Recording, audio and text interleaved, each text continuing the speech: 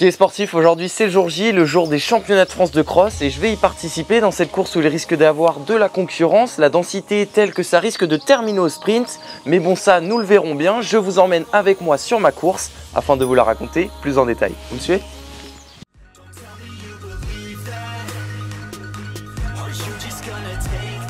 Baptiste Arthur vous a mis dans le cadre.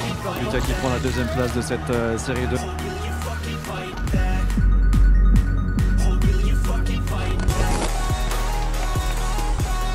Baptiste Cartio, quatrième des championnats d'Europe junior sur 3000 mètres au steeple l'été dernier.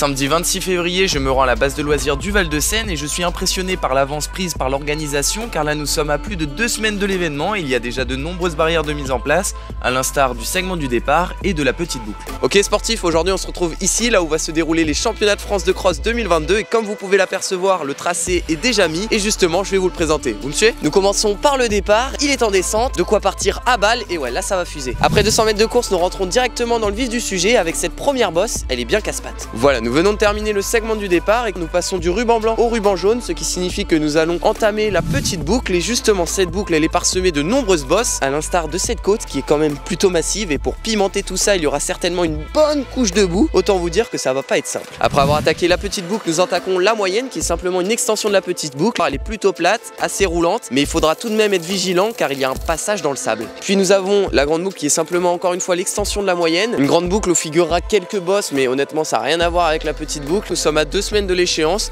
et honnêtement euh, c'est plutôt sympa de pouvoir apercevoir le tracé en amont euh, c'est vrai que j'ai pas souvent l'habitude de faire ça, mais là, étant donné que c'était pas loin de chez moi, c'est vraiment l'occasion. Et je vais me faire surtout une bonne séance, une séance, euh, la dernière simplement, la dernière Spécross, qui me servira de me mettre en jambe, m'imprégner du parcours pour justement cette grosse échéance. Et ça va être chouette. Et ouais, ça va être chouette, d'autant plus que comme vous avez pu le voir, c'est un vrai parcours de cross, bien loin des hippodromes. Bon, ce n'est pas pour autant qu'il s'agit d'un parcours à mon avantage, mais enfin, les France se tiendront là, que je le veuille ou non. Maintenant, place au fartlek, et c'est plutôt sympa de pouvoir en amont de la course faire une vraie séance sur le parcours en question, car il est vrai qu'habituellement, nous pouvons faire la reconnaissance du circuit la veille, mais ce n'est pas du tout la même perception entre faire un petit footing sur le circuit ou appuyer comme aujourd'hui. Assurément, ce jour-ci, c'était au programme 8 minutes, 12 minutes, 8 minutes, 4 minutes, récup 2 minutes, tout cela à l'allure cross, enfin plutôt à l'intensité cross, car l'allure sur un cross, comme je vous l'ai expliqué plusieurs fois, est très peu significative. Cette séance a donc été effectuée sur le circuit avec pour but de s'imprégner au maximum de celui-ci et ainsi habituer le corps. Donc pendant mes 38 minutes de travail, sans compter le warm-up et le cool-down bien sûr, j'ai enchaîné petite et moyenne boucle. Franchement c'était sympa cette séance, j'ai pu découvrir la partie compliquée dans le sable, ainsi que le terrain qui était aujourd'hui sec, mais j'étais conscient qu'il risquait de changer. Pour un terrain bien plus boueux, causé par le nombre de passages conséquents de coureurs. Oh. La gueule. T'as dit un gros mot. Tu mets un euro dans le bocal, un gros mot, hein, ça suffit.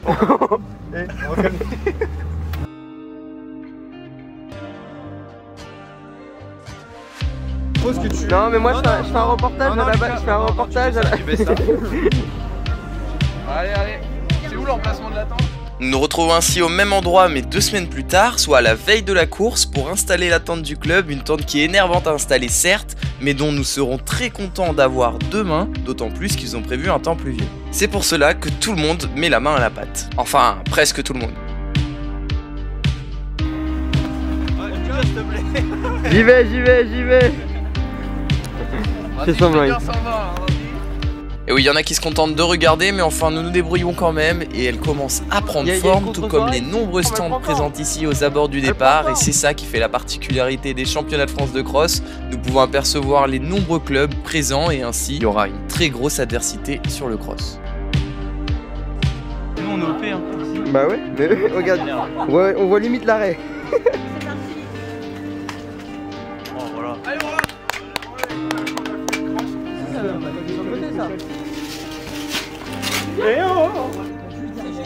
L'attente aura pas d'augmentation hein. Bon allez, la tente est installée, à présent il est temps pour nous de nous rendre au retrait des dossards. Et oui cela fait partie de la veille de course étant donné qu'il risque d'avoir du monde le lendemain. Alors numéro combien les gars? 612 Il faut à présent repérer notre numéro de dossard sur les panneaux avant de nous le faire délivrer en échange de vérification d'identité.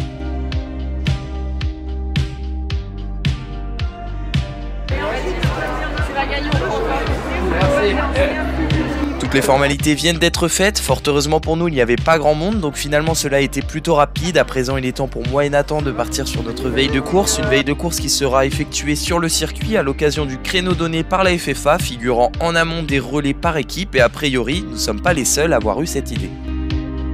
On arrive tranquillement vers. Et oui, encore une fois il est préférable que le corps s'habitue au parcours. Oh Margot Oh excellent Un parcours qui, à ma plus grande surprise, n'avait pas tant changé que ça, ils l'ont simplement aplani en rebouchant les gros nids de poules, et pour ce qu'il s'agit de la boue, bon certes il n'y avait pas plu, mais sur les réseaux sociaux j'avais vu cette image qui m'avait fait peur, mais d'autant plus que le fermier est énervé là. Je le soupçonne d'avoir eu une flémagite excessive. Mais c'est le périph' ou quoi? Ce qui pour ma part n'est pas plus mal car nous avons vu que à Montauban, la boue ne m'avait pas fait que du bien. Enfin, revenons sur l'instant présent, soit l'analyse du parcours, nous repérons les trajectoires idéales et empruntons l'ultime ligne droite, soit la ligne droite d'arrivée, qui est, comme vous pouvez l'apercevoir, bien bien longue. Petit détour sur la ligne de départ pour repérer les box que nous pourrons malheureusement pas utiliser étant donné que nous n'avons pas d'équipe, mais enfin c'est comme ça, nous arrivons au bout de nos 20 minutes et terminons par une minute à l'intensité cross pour activer les jambes.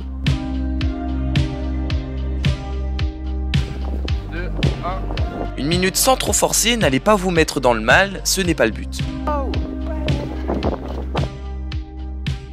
Et ça y est, nous sommes fin prêts pour demain.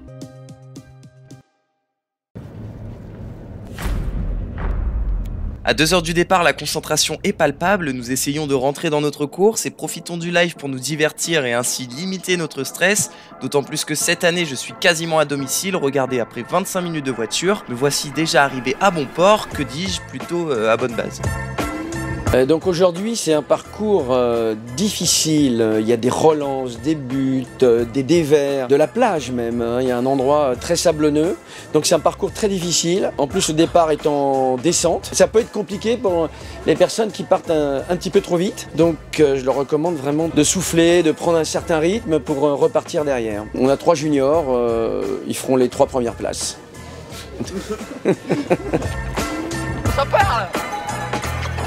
Bon, pas sûr de son affirmation, mais enfin ça y est, nous y sommes, les championnats de France de cross, un cross attendu par beaucoup, redouté par certains, en effet c'est un grand événement, une grande fête qui ne sourit pas à tout le monde, et moi le premier, souvenez-vous, lors des championnats de France l'année dernière, alors que je venais pour la gagne ou grand minimum la qualification pour les championnats d'Europe, je réussis rien de cela, j'explose totalement dans les derniers kilos, et vois mes rêves de championnat d'Europe s'envoler.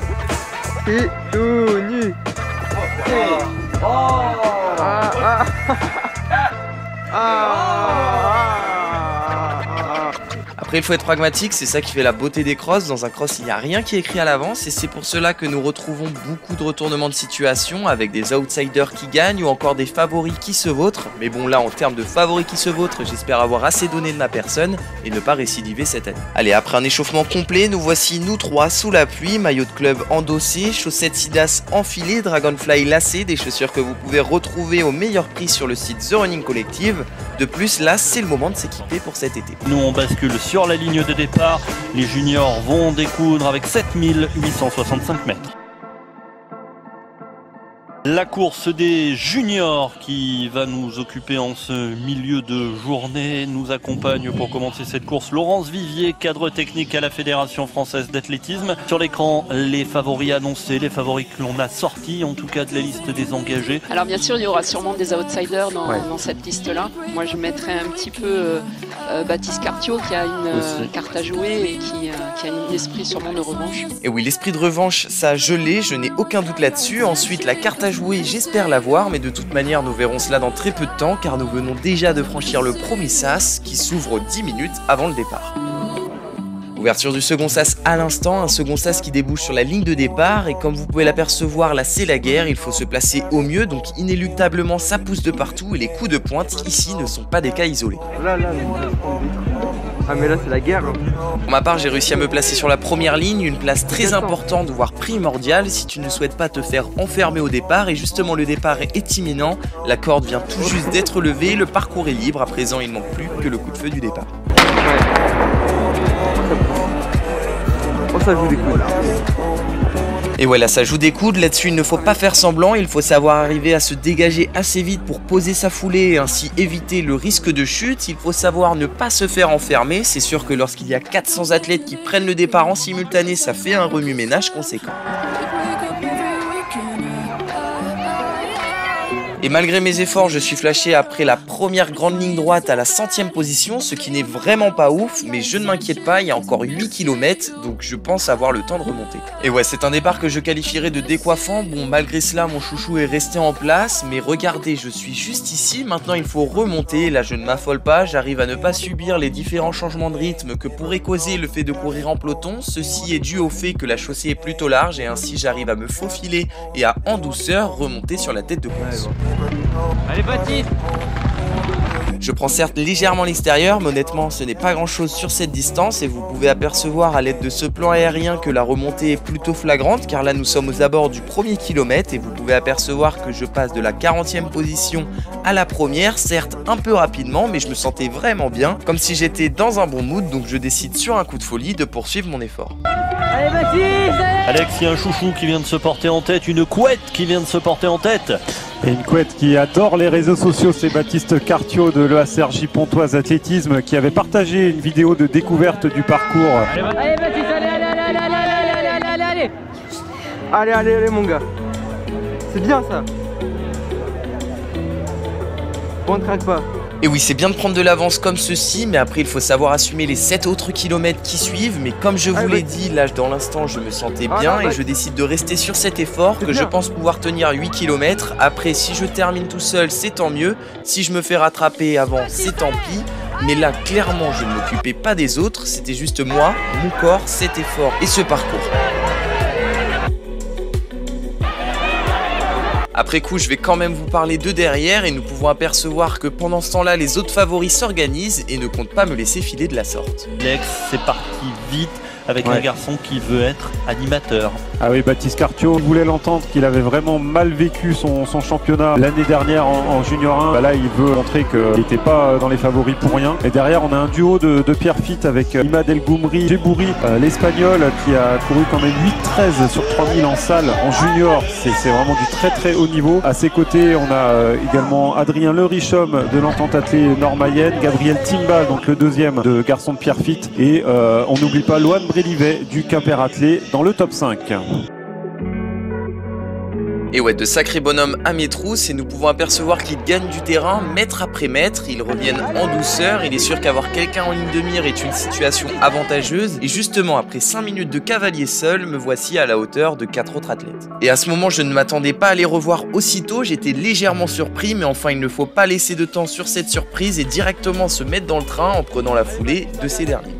Allez Économie Baptiste, allez, allez, allez. hein. Allez Baptiste. Eh Baptiste tu contrôles ok? Et ouais, maintenant là, il faut contrôler, arrêter de faire des efforts inutiles. J'ai tenté de partir solo, je n'ai pas réussi. Maintenant, je me cale au chaud et m'accroche pour rester dans ce quintuple de tête. Et justement, ce quintuple descend pour la première fois sur la plage. Étant donné que nous avons déjà parcouru la petite boucle, nous sommes à présent sur la première moyenne et nous nous approchons de la tant redoutée partie sablonneuse. quatrième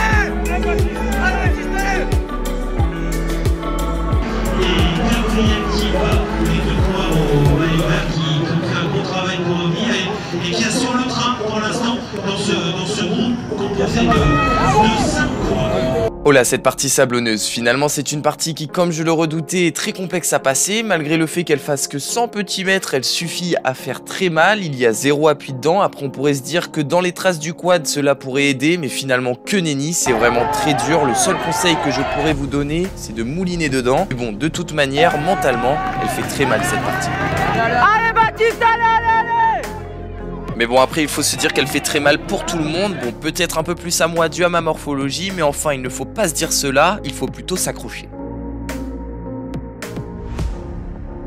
Je parle beaucoup du quintuple de tête car pendant la course c'est ce que je voyais, mais attendez, je vous remets les résultats provisoires qui sont passés. Voilà, regardez juste derrière, à 7 et 11 petites secondes de nous, il y a deux athlètes, Adrien Le Richhomme et Sven Durand, qui sont en chasse-patate depuis un moment mais qui ne perdent plus de temps sur nous. Il fallait ainsi se méfier d'eux car ils pourraient recoller étant donné que nous sommes encore dans la première moitié de course et qu'il nous reste encore exactement 4 km à parcourir.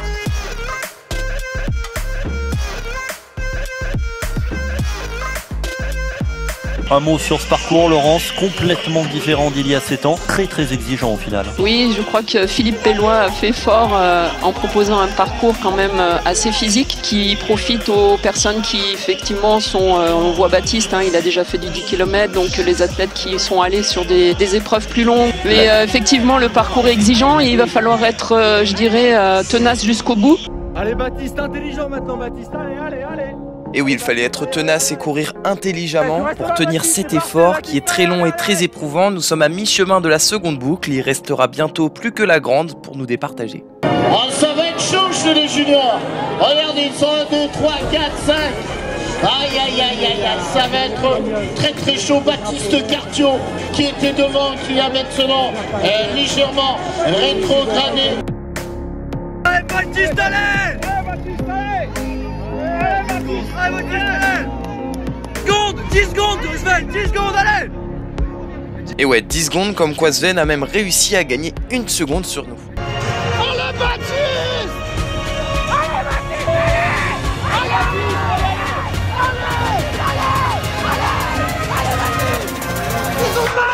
Et regardez Baptiste Cartio, regardez-le le garçon, on disait qu'il était peut-être en train en difficulté, Eh ben non, c'est lui désormais qui est aux commandes de cette course des juniors, il court très intelligemment Laurence. Oui, euh, c'est sûr que l'intérêt de Baptiste, c'est essayer de- d'attaquer un peu de loin. Il faudra en avoir la force. Et Vivien Hens, le, le quatrième larron euh, pour euh, la Clémès Métropole, qui a l'air euh, très très facile, qui se calme dans la foulée de tout le monde et qui, qui se cache un peu. Laurence a très bien résumé la situation, nous approchons de la fin de course, il reste un peu plus de 2 km et je savais que au sprint ça n'allait pas le faire, donc il faut tenter de faire l'écart avant, d'autant plus que sur le plat, tout comme Olifa, je suis plutôt à l'aise. Enfin du moins, moins dans le dur que lorsqu'il y a des côtes. Ils prennent un tour sur le parcours des bureaux.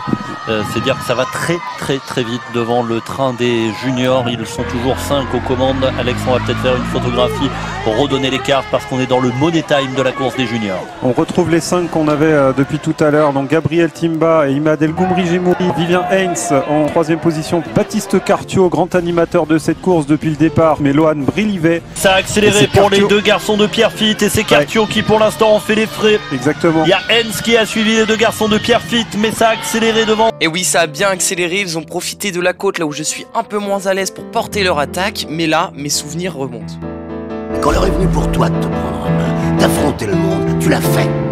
Mais quelque part en cours de route, t'as changé. Et je t'ai plus reconnu. Les souvenirs de l'année dernière où mes jambes se sont coupées refont surface, mais là je sens que je peux revenir. Regardez dans les virages comment j'arrive à récupérer. Là il faut vraiment aller chercher le groupe, car si je perds ce groupe, je risque de me décourager et ainsi me faire rattraper par l'arrière. Donc il faut rester focus sur l'avant. Et Vivien Hens qui maintenant se porte en tête et Baptiste Cartio qui comme tout à l'heure tamponne un peu, il hein, fait l'élastique et il va essayer de revenir encore une nouvelle fois. Mais comme souvent, et on entend souvent de cet élastique sur le cross, au bout d'un moment, à force de faire l'élastique, ça casse. Si grand et fort que tu sois, la vie te mettra à genoux et te laissera comme ça en permanence si tu la laisses faire. Toi, moi, n'importe qui, personne ne frappe aussi fort que la vie. Ah, il est des quatrièmes là Ouais, mais c'est pas grave, faut accélérer, faut accélérer. C'est ça, encouragez Baptiste Encouragez Baptiste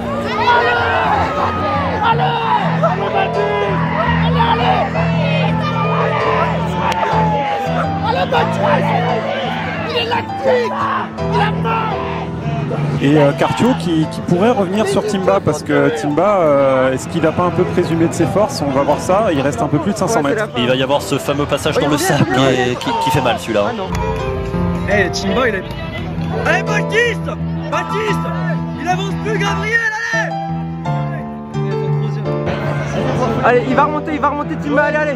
Là, nous attaquons l'extension de la grande boucle, un peu éloignée de la foule, mais ce n'est pas une raison pour lâcher. Bon, certes, à ce moment, je ne visais plus le titre, il faut être réaliste, mais j'avais Gabriel en ligne de mire, lui qui, tout comme moi, a lâché le groupe de tête. Maintenant, il n'y a plus de gestion. J'essaie d'aller le chercher coûte que coûte. Faut qu'il relance, faut qu'il relance, c'est la fin,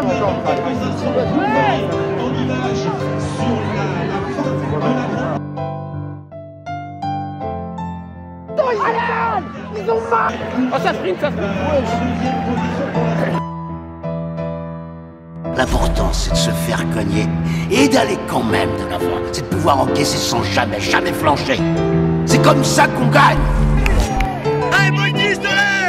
C'est impressionnant ce qu'ils sont en train de faire. La dernière ligne droite de la base de loisirs du Val de Seine est noire de monde pour accueillir la course des juniors. C'est un Espagnol qui va probablement aller chercher la victoire. Imad El Goumri Djebouri, l'Espagnol de Pierre Fitt, va remporter la course. Allez, allez, Baptiste Allez, allez Baptiste Allez, Baptiste, allez C'est bien C'est bien La médaille d'argent pour Gabriel Timma pour la S Pierre Fitt et Baptiste Cartio. Au courage, le grand animateur de cette course ira se parer de bronze. Il montera sur le podium. Le chouchou sera médaillé de bronze.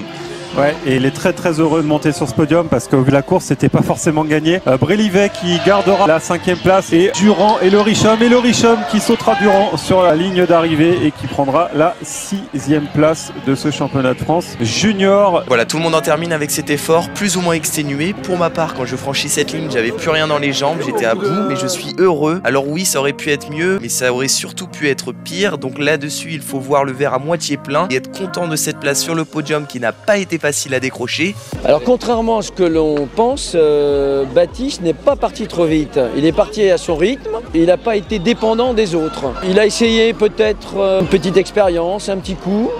Euh, les autres le rattrapent parce qu'il faut savoir que tous les autres sont quand même d'un- très très bon niveau. Je pense qu'il est battu par aujourd'hui par plus fort que par plus fort que lui. Mais il faut savoir que Baptiste est parti. Il est parti où Baptiste? Il est parti au ski la semaine dernière. Quelle erreur Il est parti au ski, hein avec sa maman. Et ça, euh, il a fait quand même euh, 170 km de, de ski de fond, je crois. Non, il a fait une bonne course. C'est- Conclusion, c'est très bien. Troisième, c'est. Il n'y a rien à dire. Il sera très bien sur, euh, sur piste euh, cette année, sur trois mystiques.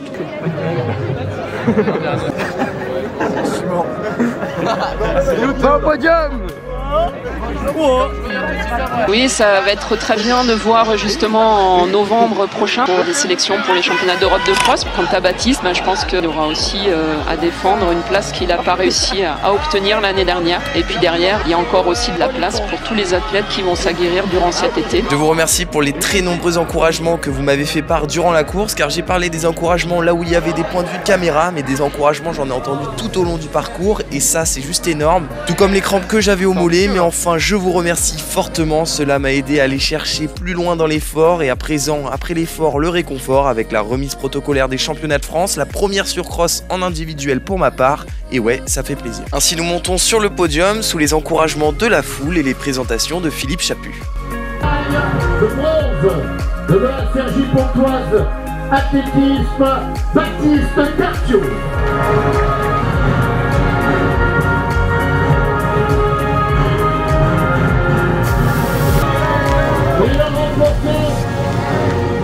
Il a remporté cette course.